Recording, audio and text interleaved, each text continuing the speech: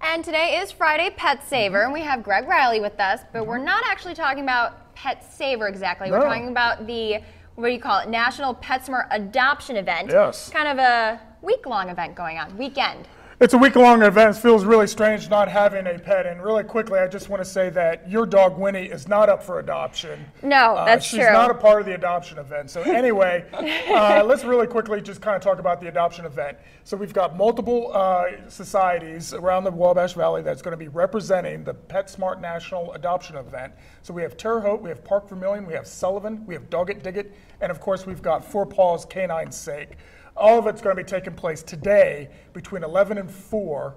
Pardon me, yes, 11 to 4 today. Tomorrow is going to be from 11 to 6 p.m., and then Sunday will be noon to 6 also. Okay, and so at this event, if people attend the event, what, I mean, is it just a chance for them to see different dogs that they can Absolutely. adopt? Absolutely. A wide array of uh, dogs. Uh, obviously, there's going to be cats there.